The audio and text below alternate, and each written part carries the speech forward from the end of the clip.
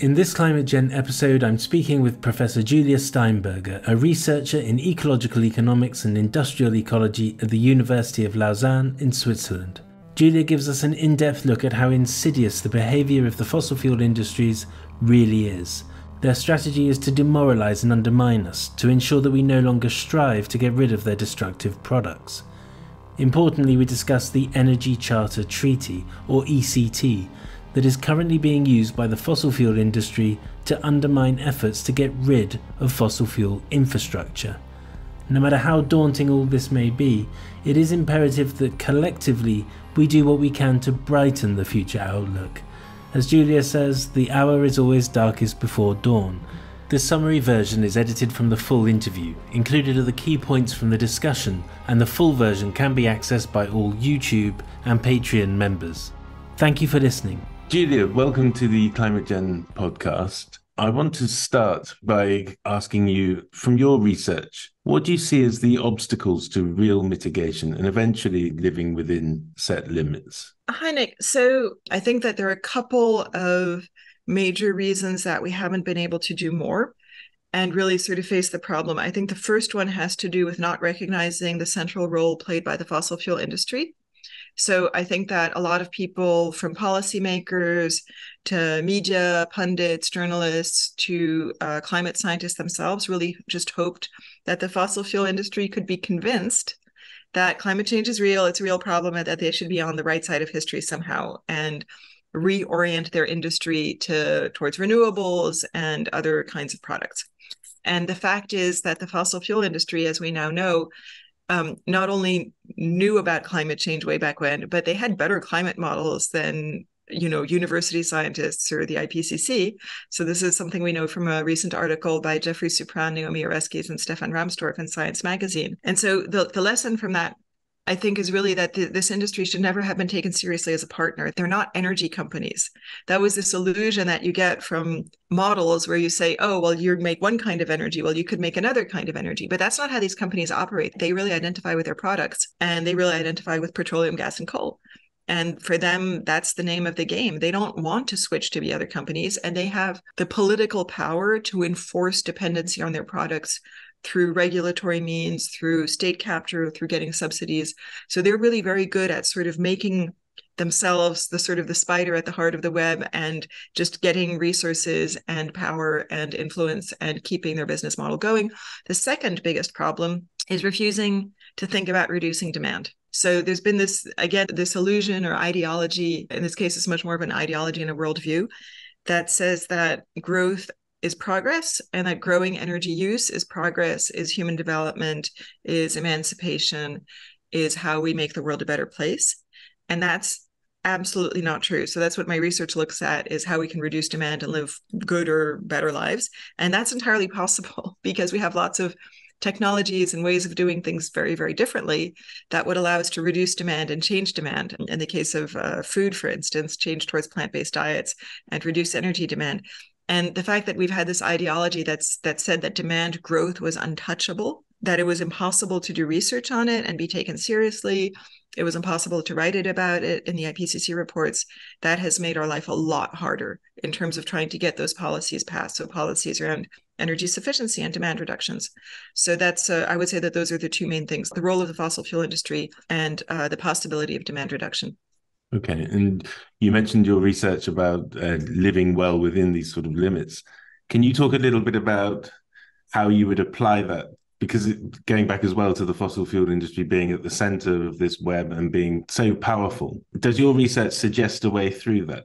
So there, there's two different things. One is the possible world, which is where we observe, you know, what's happening in the world around us, and we see that certain countries, certain households live quite good lives at much much lower resource use than you know even their their national averages or global averages. So that's something that we can uh, we can definitely observe and in the reality that we know it's happening. And we can also model what would be possible based on the efficiency trajectory of existing technologies. And we can really see that it is possible to live better with less and it would be possible to live better with a lot less in the future the other aspect of reality is how do we face the fossil fuel industry and that's a much taller order i think one of the things it really requires is exposing them, either through research, through investigative journalism, through media reporting, and also through the lawsuits that are happening now. So, right now, they've been spending a lot of their time building up what we call social license, which is the social license to operate. And that social license did not, does not have a reason to exist. They have been acting in such a way that their social license should be removed. But I think that that's much more of a communicative challenge, making people aware of what these products are doing and the fact that they knew about this and that they were collaborating with the automotive industry to fudge the results and all of this stuff. So all of these things need to be exposed and for people to understand that that this is not a good actor. This is not these are not good faith actors. The emissions curve is still sort of going up or it may be stabilizing. But we've reached a point now in 2023 where we're going to a COP where the president is literally the oil boss. That's kind of symbolic of the political failure really to tackle the problem. We're treating them like partners when you're when you've highlighted the reasons why yeah. we shouldn't. And I just want to know what you think of the role of personal agency when we see the political failure to really get to grips with it. And there's a lot of people who are saying, as individuals, we can't really do anything. But what do you see as the role of personal agency in all of this? Going to, to what you said, which is very important about the next COP, so the next round of climate negotiations being run by an oil man, you know, that's literally what he is. He's an oil man. He's the head of the national oil company, the Abu Dhabi National Oil Company. So I think that one of the things we can see is we can see the arc of struggle as described or by Gandhi. It's not a direct quote, but it sort of encapsulates what he was thinking is, you know, first they ignore you, then they laugh at you, then they fight you, then you win. And we're definitely, I mean, we've been the the ignoring thing happened, the laughing at, you know, sort of the overt climate denial happened. And this is the fight, right? This is an overt fight. This is the fossil fuel industry, oil companies trying to take over climate action, uh, you know, trying to enforce climate inaction basically by taking over uh, key processes. Um, I was part of the IPCC as a lead author, and you know, the oil companies would comment on our text and say, you know, delete this paragraph. It's like, do you got a reason? You know, is that is that do you have a scientific reason why this paragraph should be deleted? Is there any factual thing that's incorrect in it? No, just delete. It's like, well, no, then that if you don't, you know, we don't have to do what they say, right? But I think you you see this sort of confrontation coming up very, very strongly, and I think that one of the most important things that people can do in their personal life is be part of that confrontation actively. So be part of any of the activist groups that are basically standing up in the sense, you know, on the more sort of spicy side, you have Just Stop Oil or the direct action groups like Extinction Rebellion and so on, Fridays for Future, various kinds of other groups that do more sort of either lobbying or the lawsuits, which are very important. So ClientEarth, there's the Fossil Fuel Non-Proliferation Treaty, which is an excellent initiative to take get involved in because it's really trying to make the fossil fuel industry appear in international diplomacy as the you know grand villain that it is much like nuclear weapons. So i think the fossil fuel non-proliferation treaty is a really excellent initiative to get involved in. One thing you mentioned recently which i found quite fascinating was about the energy charter treaty. Yes. And it me this is something that really needs to be on people's radar much Absolutely. more. Can you give us an overview of, of, just what it is and the role it's playing at the moment of protecting this sort of status quo with the fossil fuel companies? So, the Energy Charter Treaty um, started out its life as a European treaty that also included the Eastern Bloc. It now includes a couple of other countries like Japan and I think Australia. And it's trying to also expand into Africa, which is really bad. It's exactly like the tobacco industry where the Marlboro man never died. He just moved to Africa. And the tobacco industry moved to Africa and tried to make lots of African people dependent on cigarettes and die of lung cancer. And the same is now happening with the fossil fuel industry.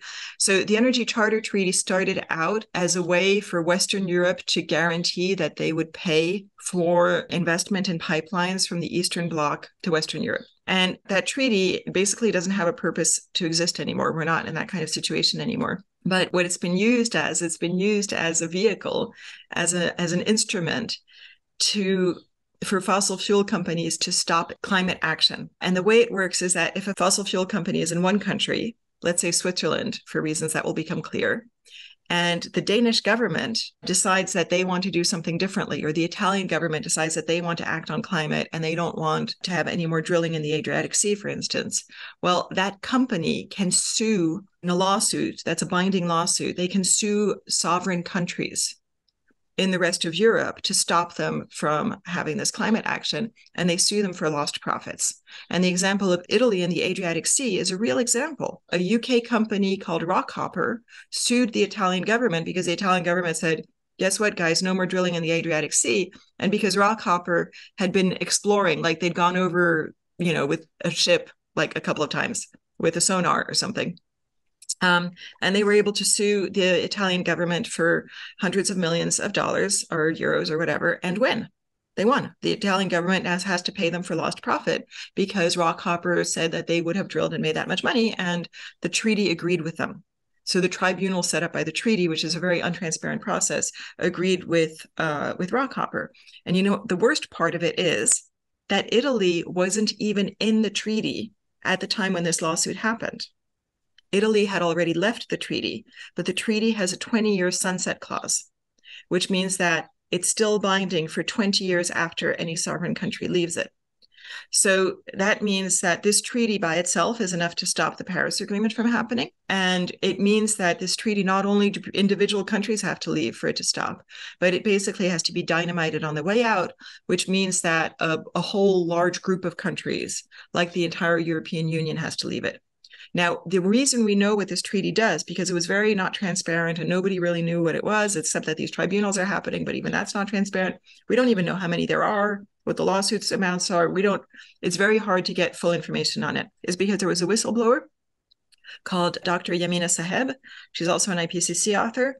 And she basically went to be part of that treaty to try to make it Paris compliant with the Paris Agreement and understood what it was doing and understood that it couldn't be made Paris compliant because it was basically this thing that just helped the fossil fuel industry stay in business. And we know, for instance, that the Danish environment minister, who's in charge of climate action, said that they didn't do as much as they wanted because of this treaty. So we know that it's been having this chilling effect across all of Europe. And so, because of her whistleblowing and her intervention in different countries, she's been able to persuade or convince politicians in multiple countries to leave the treaty, including Spain, the Netherlands, Poland, Germany, France, and Italy, as we know, had already left. And then the European Commission was just like, okay, we all have to leave now. But Switzerland is deciding to stay in. And the reason Switzerland is deciding to stay in is because Switzerland has basically made this bargain with the devil. You know, and I'm in Switzerland right now. I live and work in Switzerland. I'm Swiss. The Switzerland has made this devil's bargain where they think that by having the headquarters of big evil companies like Glencore, for instance, or petroleum trading companies like Trafigura, that that's what our economy is built on. Our economy is built on this kind of sort of predatory financial headquarters of major dirty industries, and that we will make a lot of money if we're the last country standing that's upholding this treaty because fossil fuel companies will come to Switzerland, set up their headquarters, and sue the rest of the world into climate inaction. And that's something that the Swiss government is pursuing right now, but in a very undemocratic way because, you know, 99.9% of the Swiss population has no idea that this treaty exists and 99% of the politicians that are elected to the parliament don't know that we're part of it and don't know what it does so this this thing is only allowed to continue to exist because of lack of transparency and ignorance it kind of creates a zombie fossil fuel industry where they can just keep yep. suing for money on business that hasn't even occurred Absolutely. and even as, as europe pulls out all these other countries are being conned into joining. Is that fair? Yeah, that's that's basically what's what's going on. And they're just going around the world and sort of wooing African countries, trying to convince them to join. That it's going to be this great thing for them to join, that they're going to be part of the club. But it's really a coercive treaty that is anti-democratic, anti-transparent, and goes against the public interest of every single last person on the planet. If people want to learn more, Celine Keller who's a fantastic uh, graphic artist, made a graphic novel about it called The Dawn of the ECT, which is uh, freely downloadable in multiple languages. So I recommend that. Well, that's been fantastic to speak to you. Thank you very much. It's been very insightful and uh, hopefully speak to you again in the future. Thanks, Nick.